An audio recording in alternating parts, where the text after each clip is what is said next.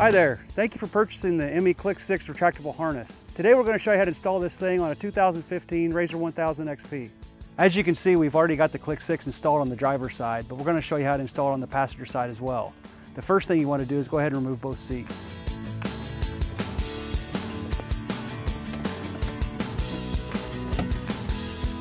Okay, now that we've got the seats removed, the first thing we want to do is remove this stock three-point seat belt, also made by IMMI. The first thing to do is to remove the 12 millimeter nut off the back side of the retractor. It requires a 19 millimeter wrench. These are kind of snug because they are a lock nut, so it takes a little bit of force.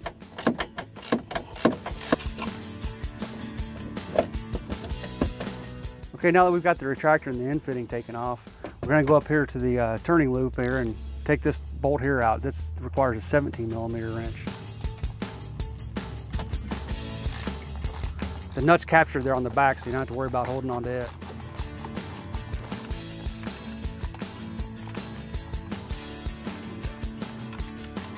Now that we've removed the three-point seat belt, we have to remove the buckle from the center console. In order to do that, you have to remove the two screws on the sides first. This is a T40 Torx head. One on this side as well. After you remove the Torx head screws, you have to remove these plastic rivets. There's five of them total. Two here in the back, two along the sides, and one up under the dash.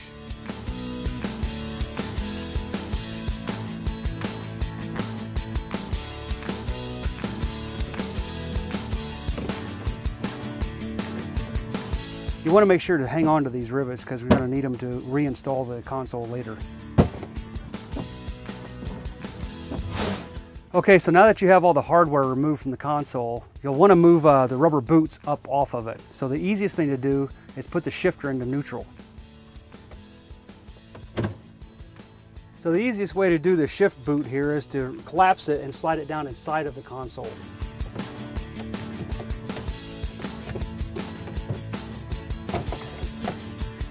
That way it gives you the opportunity to raise the console up like that.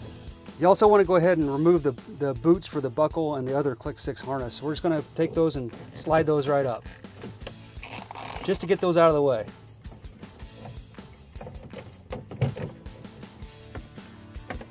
About like that.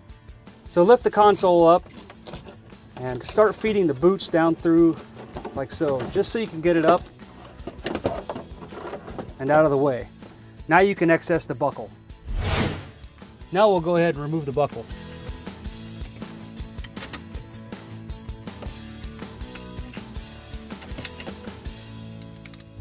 So we've got the three-point seatbelt removed. Now it's time to install your new IMMI Click 6.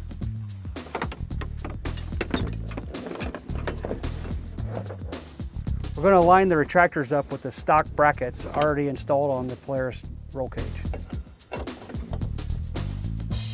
take two M12 nuts out of the hardware package.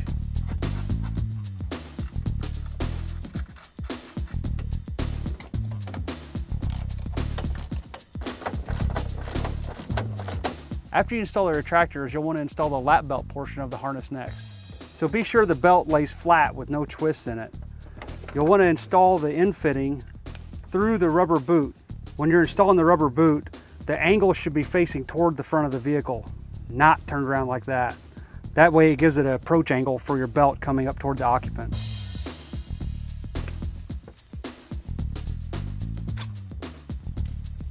So slide that guy all the way down.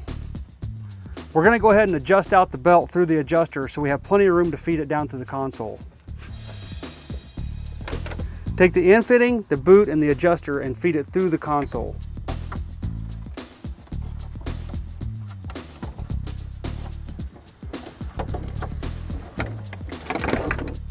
Now we're ready to attach the end fitting to the vehicle. The two tabs that are on the side are meant to point toward the ground and go underneath the mounting bracket. These are to keep the bracket from rotating while you're tightening the bolt.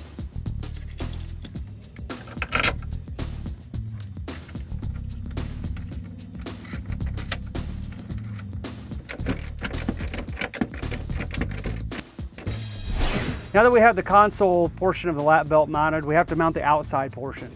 Again, make sure the belt lays flat so there's no twist in it. Feed the bolt through the bracket and the bracket should go on the back side of the mounting plate. This is the same hole where the three-point seat belt was mounted. When the bolt is tightened, you want the belt to be coming off at about a 45 degree angle.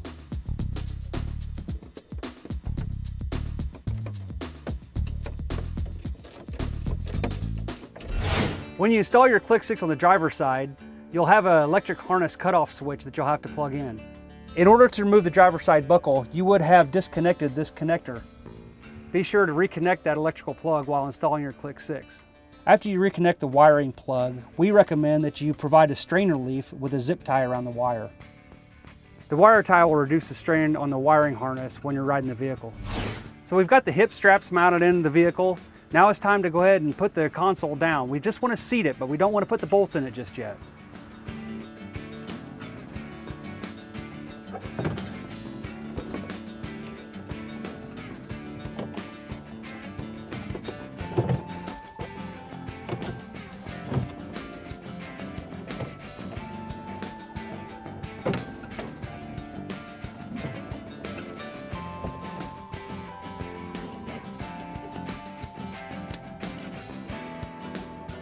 Gently put the boots back into the console. There's a groove that goes all the way around the boot that should snap into the console.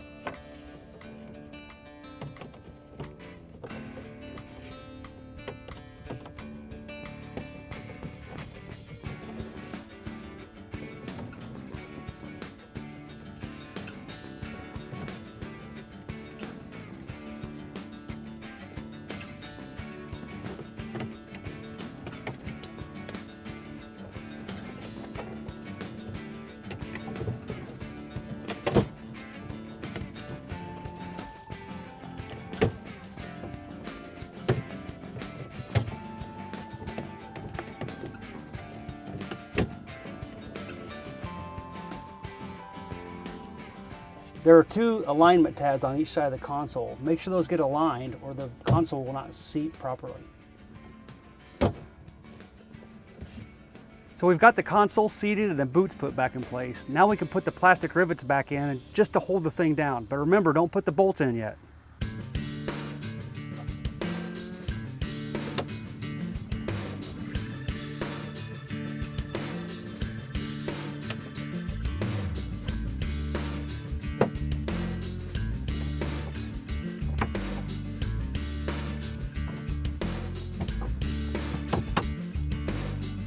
So now we're going to install the thigh straps. Again, make sure the webbing lays flat so there's no twists in it. The left thigh bracket is going to slide right underneath the console. Now we can reuse that Torx head screw and hold it all down.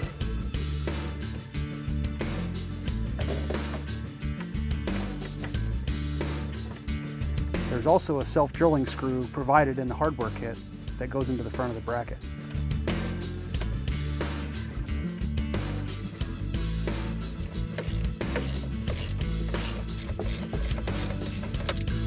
Go ahead and tighten the Torx bolt. Don't over tighten it, you'll bust the plastic on your console.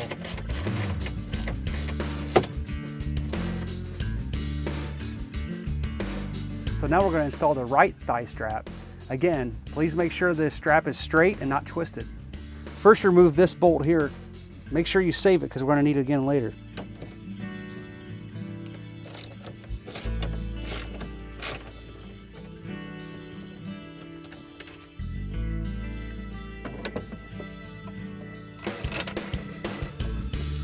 Put that bolt right back in.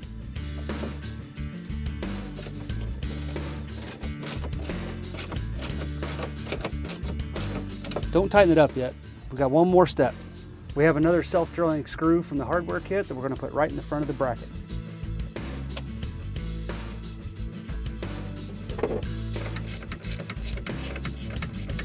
Go ahead and snug up that uh, top bolt.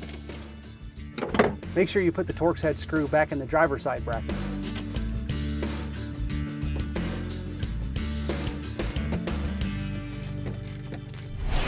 Well, that about sums it up. Now all we have to do is put the seats in and go riding.